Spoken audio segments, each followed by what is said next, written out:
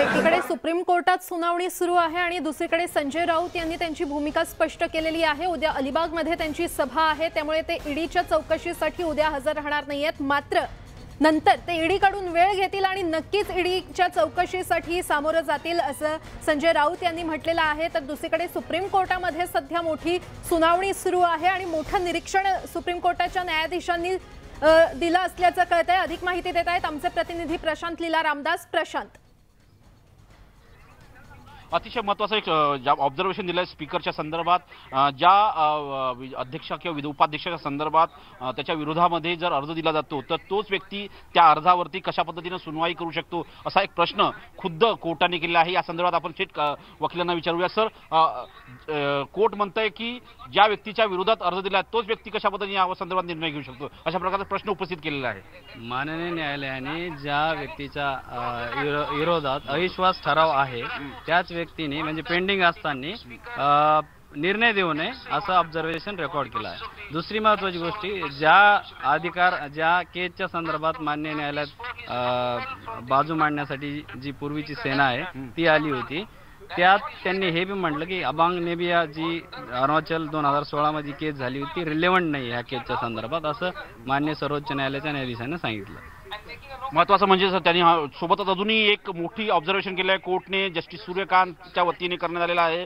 Supreme कोर्टाच्या जुन्या निर्णयाचा मुद्दा वेगळा आहे त्यांचा विषय वेगळा आहे आताची परिस्थिती वेगळी आहे आणि जर ज्या व्यक्तीच्या अंतर्गत ज्या उपाध्यक्षांच्या अंतर्गत त्यांच्या अधिकारांनाच आव्हान दिलं जातं आणि अशा वेळी या आव्हानाला तेच निर्णय कसे देऊ शकतात अशा प्रकारचा प्रश्न उपस्थित केला आहे जस्टिस सूर्यकांत यांनी आणि जस्टिकांत पालीवाल यांनीही स्पष्ट केलं आहे की ज्या व्यक्तीच्या विरोधात अर्ज देण्यात आलेला आहे तोच व्यक्ती त्या अर्जावर कसं निर्णय घेऊ शकतो यावरती सुप अभिषेक मनू सिंघवी यांनी स्पष्ट केलं आहे.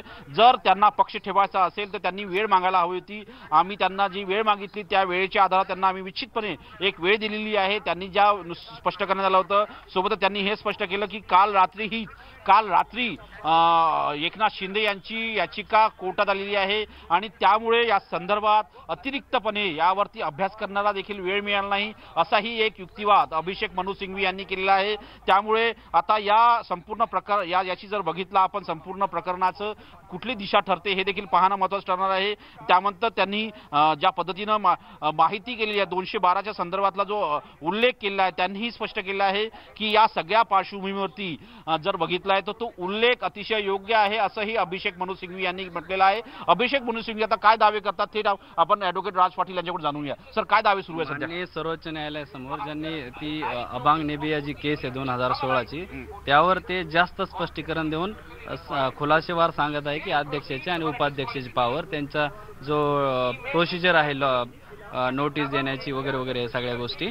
आणि अध्यक्षाला जेव्हा पॉवर असतात त्याच्या जर अध्यक्षाच्या मध्ये उपाध्यक्षाला कशी येते यावर ते स्पष्टी स्पष्टीकरणात्मक स्वरूपात सांगत आहे न्याय- मान्य न्यायालयासमोर. आणि यावर न्यायालय काय भूमिका घेत आहे? मान्य न्यायालयाने पहिल्यांदाच सांगितलं की ही केस तेवढी रिलेव्हंट नाही ह्या परिस्थितीमध्ये. ही केस वेगळी आहे. महत्वाचं म्हणजे ही वेग केस वेगळी आहे असं कोर्टाने म्हटलं आहे. त्यांनी हे स्पष्ट केलं आहे की रेकॉर्डवर त्यांनी कधीच त्यांना हटवण्यासंदर्भातला नोटीस देण्यात आलं नाही असंही म्हणण्यात आलेलं आहे. कोर्टाने हे स्पष्ट केलं आहे. जर एक शपथपत्र द्यायचं होतं तर शपथपत्र देताना कुठल्या प्रकारचे प्रश्न देखील त्यात उपस्थित केले नाही आहे त्यामुळे उपाध्यक्षांना नोटीस देण्यात आला का? या संदर्भात स्पष्ट करण्यात आलं आहे, उपाध्यक्षांना कुठलाही नोटीस देण्यात आलेला नाही आहे या सगळ्या प्रकरणामध्ये. त्यामुळे या संदर्भात आता स्पीक स्पीकरच्या वतीनं नोटीस देण्यात आलेली आहे. त्याला रद्द करण्यासंदर्भातला निर्णय होऊ शकतो का हे पाहणं अतिशय महत्त्वाचं ठरणार आहे. सोबतच ज्या पद्धतीनं या सगळ्या पार्श्वभूमी या संदर्भात उपाध्यक्षांच्या विरोधातच जर असेल तर उपाध्यक्ष जज देखील होऊ शकत नाही असंही कोर्टाने स्पष्ट केलं आहे त्यामुळे आता हळूहळू या संपूर्ण प्रकरणाची दिशा निश्चित होताना आपल्याला पाहायला मिळते अरुणाचलचा जो निर्णय आहे तो निर्णय जर बघितला आपण. तर त्या निर्णयाचा आणि या संदर्भातले जे प्रकरण सध्या सुनावणी सुरू आहे त्या संदर्भात अजूनही कुठल्याही प्रकारचा उल्लेख केला जाऊ शकत नाही किंवा त्याचं त्या संदर्भातली तुलना केली जाऊ शकत नाही असंही कोर्टाने स्पष्ट केलं आहे. सोबतच ज्या पद्धतीनं एक असं स्पष्ट करण्यात आलं आहे की कोर्टा शिंदे गटाच्या वतीने एक ईमेल फक्त डेप्युटी स्पीकरला आलेला आहे. तो नोटीस नाही आहे फक्त माहिती देण्यात आलेली आहे असाही उल्लेख करण्यात आलेला आहे. त्यामुळे त्या ईमेलला कोर्टाने रिजेक्ट केला आहे सध्या काय सुरू आहे सर? त्यांनी सांगितलं की ज्या नोटीस दिल्या होत्या त्यांना रिप्लाय अजूनपर्यंत आला नाही. त्या नोटीस द्यायला हव्या हे त्यांनी न्यायालयाच्या समोर आणून दिलं.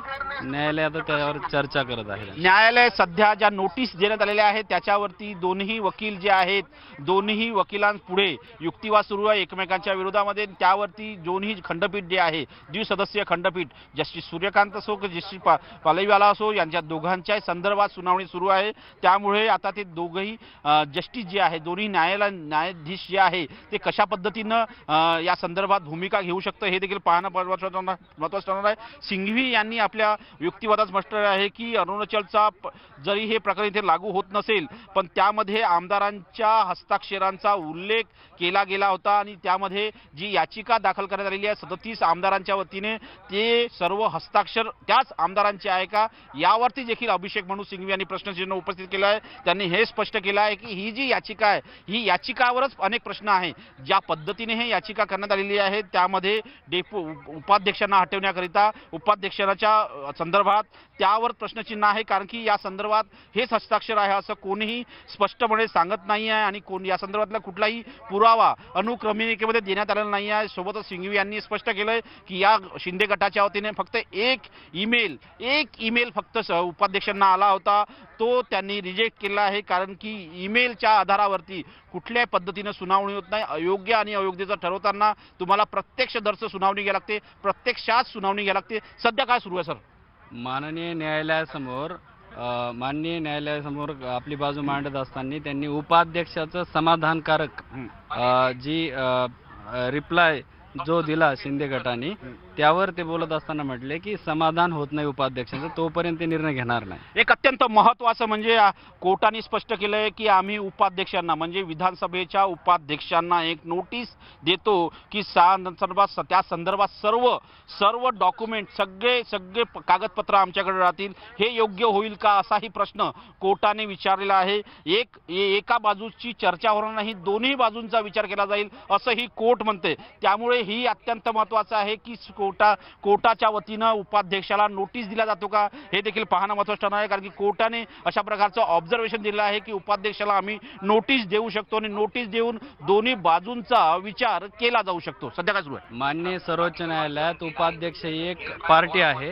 ते नोटीसीचं उत्तर देण्यास बांधील आहे. मान्य न्या- न्यायालयासमोर उपाध्यक्षांना आपली बाजू मांडावी लागेल. ते सुद्धा पार्टी आहेत या केस संपूर्ण प्रकरणामध्ये. या संपूर्ण प्रकरणामध्ये उपाध्यक्ष देखील देखील एक प्रकारचे याचिकाकर्ते आहे किंवा असं म्हणता येईल की प- प्रतिवादी आहे. प्रतिवादी असल्यानंतर असल्यामुळे रिस्पॉन्डर असल्यामुळे त्यांना देखील आपलं म्हणणं मांडावं लागेल. एकीकडे एकनाथ शिंदे हे याचिकाकर्ते आहे त्यांच्या विरोधामध्ये उपाध्यक्ष हे प्रतिवादी आहेत. त्यामुळे प्रतिवाद्यांना आपलं म्हणणं आवश्यक मांडणं आवश्यक आहे. या घडीला जर बघितलं आपण तर जस्टिस सूर्यकांत म्हणताय की या आम्हाला आमच्याकडे ज्या पद्धतीनं अधिकार आहे यामधले अनेक अधिकार हे घटनात्मक खंडपीठापुढे सुनावणी होण्याची गरज आहे असंही त्यांनी स्पष्ट केलं आहे. त्यामुळे या घडीला हे प- अतिशय महत्त्वाचं ठरतंय की ही आता सुनावणी कुठल्या दिशेने जाते? ज्या पद्धतीनं सुनावणी सुरू आहे त्यामध्ये उपाध्यक्षाला कोर्टच्या वतीने कोर्टाच्या वतीने नोटीस दिली जाण्याची शक्यता आहे. जर कोर्टाच्या वतीने नोटीस देत असेल सध्या ऑब्झर्वेशन आहे कोर्ट सध्या ऑब्झर्वेशन करते जर कोर्टाने नोटीस द्यायची असेल तर नोटीस दिल्यानंतर साधारणतः उपाध्यक्षाला किती दिवसात उत्तर द्यावं लागतं? साधारणतः काय प्रक्रिया असते? अजून काही तसा टाइम दिलेला नाही कोर्टाने की कधीपर्यंत द्या वगैरे वगैरे. यावर बोलणं योग्य होणार नाही पण माननीय सर्वोच्च न्यायालया न्यायालयाला उत्तर म्हणून मान्य उपाध्यक्षांना त्यांच्या रिप्लाय फाईल करावा लागेल. रिप्लाय फाईल करावं लागेल साधारणतः असं म्हणावं लागतं. किंवा त्यांच्या वकिलाच्या माध्यमातून ते मान्य सर्वोच्च न्यायालयाच्या समोर आणू शकता बाजू आपली माझे माननीय न्यायालयाच्या समोर आणावं लागेल सगळे प्रकरण की या संदर्भात नोटीस दिल्यानंतर या सुप्रीम कोर्टाने पुन्हा एक टिप्पणी केली आहे त्यांनी स्पष्ट केली आम्हाला वाटतं की दोन्ही बाजूंच्या माध्यमातून नि निकाल लागावा. दोन्ही बाजूंकडे सर्व कागदपत्र असावे. अशा पद्धतीने स्पीकर आपली आपलं म्हणणं हे ठेवू शकतं. नोटीस देणार की नाही नाही या संदर्भात स्पष्ट आहे की ही टिप हे ऑब्झर्वेशन आहे. अजूनही नोटीस देण्यात आलेली नाही आहे. हे अत्यंत महत्त्वाचं आहे. कोर्ट म्हणतंय आम्ही अजून नोटीसच्या संदर्भात फक्त ऑब्झर्वेशन देण्यात आलेलं आहे. अजून नोटीस देण्यासंदर्भातला निर्णय घेण्यात आला नाही आहे. त्यामुळे नोटीस दिली जाते का नाही हे पाहणं महत्त्वाचं ठरणार आहे. अशा प्रकरणामध्ये नोटीस दिल्या जाऊ शकतात अजूनपर्यंत नोटीस इश्यू झालेली नाही. त्यामुळं आत्ताच म्हणणं योग्य होणार नाही. अजून नोटीस ऑफिशियली इश्यू नाही केली कोर्टाने. नोटीस इश्यू नाही केली पण ज्या पद्धतीने ऑब्झर्वेशन याचा काय अर्थ घ्यावा? ते त्यांचे माननीय उपाध्यक्षांचे वकील रिप्लाय करतील त्यांना. माननीय उपाध्यक्षांचे जे वकील जे आहेत राजीव धवन यांचं यां- यांचा युक्तिवाद अजून सुरू झालेला नाही आहे. हा युक्तिवाद सुरू झाल्यानंतर ते निश्चितपणे यावरती उत्तर देतील. पण सध्या अभिषेक मनु सिंघवी जे आहे जे राज्य सरकारच्या वतीने म्हणणं मांडत आहे शिंदे गटाच्या वतीने ॲडव्होकेट कोल यांनी जो युक्तिवाद केला आहे तो युक्तिवाद खोडून काढण्याचा प्रयत्न कुठेतरी अभिषेक मनु सिंघवी करत आहे. असं अशा पद्धतीचा प्रयत्न त्यांचा आहे आणि त्यांनी जे स्पष्टपणे आतापर्यंत युक्तिवाद केला आहे की एक प्रकारे अधिक नैसर्गिक जो अधिकार असतो त्यावरती घाला घालण्याचा प्रयत्न केला जातोय असा प्रकारचा युक्तिवाद ॲडव्होकेट कोल यांनी केला. तो युक्तिवाद खोडून काढण्याचं काम अभिषेक मनु सिंघवी यांनी केलं की विधा- विधानसभा अध्यक्षांच्या संदर्भात अतिशय महत्वाचं काय महत्वाचं आहे? मान्य न्यायालयाने हे सांगितलं की जे विधान भवनाचे विधिमंडळाचे सचिव किंवा डेप्टी सेक्रेटरी आहेत त्यांनी आपला रिप्लाय फाईल करावा या संदर्भात. म्हणजे विधिमंडळाचे उपाध्यक्ष असो किंवा विधिमंडळाचे सचिव असो यांनीही या संदर्भात आपली नोटीस क- मांडावं असं त्यांनी स्पष्ट केलं आहे की या संदर्भात आपला रिप्लाय द्यावा. हे अत्यंत महत्त्वाचं आहे. या सगळ्या प्रकरणामध्ये या घडीला एक प्रमुखतेने मुद्दा पुढे आलेला आहे की विधिमंडळाच्या सचिवांनी विधिमंडळाच्या सचिवांनी रिप्लाय द्यावा आपलं शपथपत्र कोर्टात दाखल करावं. हे या घडीची अत्यंत महत्त्वाचं वृत्त आहे. महत्त्वाची बातमी आहे. पुढे काय सर? पुढे आता त्यावरच जी नोटीस आहे आणि जो रिप्लाय आहे त्यावर मान्य सर्वोच्च न्यायालय संबंधित वकिलासमोर बोलत आहे. वकिलासमोर युक्तिवाद सुरू आहे. युक्तिवाद करताना प्रमुखतेने काय मुद्दे असत? मान्य न्यायालयासमोर सपोज दॅन उपाध्यक्ष आहे ती त्यांची बाजू मांडत आहे. सपोज आणि जी सेना आहे ती आपली सुद्धा बाजू मांडत आहे की अध्यक्षाची पॉवर त्यांचा मूळ मुद्दा हाच आहे की अध्यक्ष आणि उपाध्यक्षाचे जे पॉवर आहे त्यानुसारच आम्ही कारवाई केलेली आहे. अध्यक्ष आणि उपाध्यक्षांचे जे अधिकार आहे त्या अधिकार क्षेत्रात आमचा कुठल्याही पद्धतीने घाला घालण्यात आला नाही आहे त्याच्या आधारावरतीच नोटीस बजावण्यात आलेलं आहे. असंही स्पष्टपणे म्हणण्यात आलेलं आहे. महत्त्वाचं म्हणजे जर बघितलं या सगळ्या पार्श्वभूमीवरती या घडीला की ज्या पद्धतीने सुप्रीम कोर्टात सुनावणी सुरू आहे याकडे संपूर्ण देशाचं लक्ष लागलं आहे. या पद्धतीने जसं मगाशी मी सांगत होतो की विधिमंडळाच्या सचिवांना शपथपत्र देखील जारी करावं लागण्याची शक्यता व्यक्त केली जात आहे. त्या घडीला हे अत्यंत महत्त्वाचं आहे. काही एक नवीन माहिती पुढे आलेली आहे. काय ॲडव्होकेट साहेब? मान्य सर्वोच्च न्यायालयासमोर मान्य उपाध्यक्षांच्या वतीने सिनियर काउन्सिल धवन आर्ग्यू करत आहे. महत्वाचं म्हणजे आता उपाध्यक्षांच्या वतीने राजीव धवन जे आहेत ॲडव्होकेट राजीव धवन आपला युक्तिवाद करीत आहे. आतापर्यंत जर बघितलं आपण तर ॲडव्होकेट कोल यांचा युक्तिवाद सुरू होता. त्यानंतर जर बघितलं त्यानंतर अभिषेक मनू सिंघवी यांचा युक्तिवाद सुरू होता. त्यानंतर आता उपाध्यक्षाच्या वतीने राजीव धवन यांचा युक्तिवाद सुरू आहे. आणि राजीव धवनांचा जो मुद्दे आहे त्या मुद्द्यामध्ये जर बघितलं तर राजीव धवनांचा काय युक्तिवाद आहे सर? आम्ही न्यायिक प्रक्रिया फॉलो केलेली आहे असं त्यांचं म्हणणं आहे. मान्य अध्यक्षांनी सॉरी मान्य उपाध्यक्षांनी आपली न्यायिक प्रक्रिया पूर्ण करूनच ही कारवाई केली आहे. राजीव धवन यांनी अतिशय महत्त्वाचा युक्तिवाद केला आहे. त्यांनी म्हटलं आहे की डेप्युटी स्पीकर म्हणजे उपाध्यक्षांना जो ईमेल आलेला आहे तो ईमेल व्हेरीफाईड नाही. हे अत्यंत महत्वाचं आहे की ईमेल व्हेरीफाईड नाही आहे. आमदारांचा एक व्हेरीफाईड आय डी असतो. लोकसभेचा सदस्य असो किंवा विधिमंडळाचे सदस्य असतो त्यांचा एक व्हेरीफाईड आय डी असतो. त्या व्हेरीफाईड आय डीनी ईमेल आलेला नाही आहे.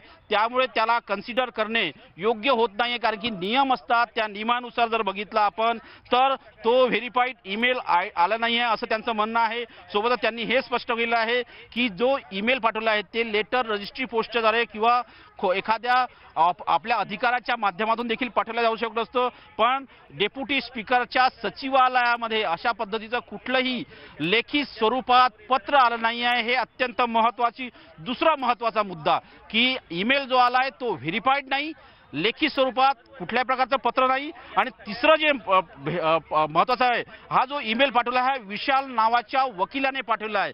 वकिलाचा उत्तर जर आमदारांना नोटीस दिला जात असेल तर वकिलाचं उत्तर कसं ग्राह्य धरावं? हे उत्तर जेन्युन आहे की नाही? आम्ही याचा कसा पत्ता लावणार? आम्ही या संदर्भात कसं स्पष्ट करणार की हा जो ईमेल आलेला आहे हा ईमेल योग्य आहे व्हेरीफाईड आहे की नाही? ज्या व्यक्तीने ॲडव्होकेट विशालच्या नावाने पाठवण्यात आलेला आहे हा विशाल त्याच व्यक्तीचा वकील आहेत का? त्यांच्याकडे त्या पद्धतीचं वकील पत्र आहेत का? असे अनेक मुद्दे या निमित्ताने उपस्थित केलेले आहे.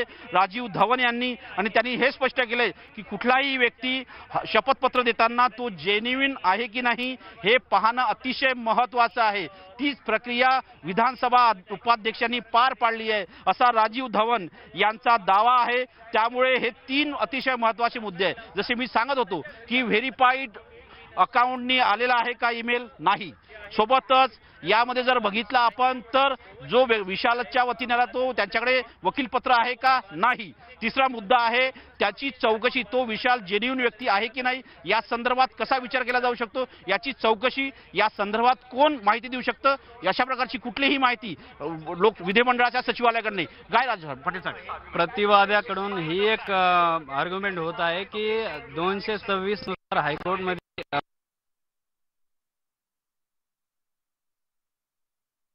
तर आपण पाहतोय सुप्रीम कोर्टानं अतिशय महत्वाचं निरीक्षण नोंदवलेलं आहे. बहुमत असेल तर उपाध्यक्ष अविश्वास प्रस्ताव फेटाळू शकतात असं सुप्रीम कोर्टानं म्हटलेलं आहे.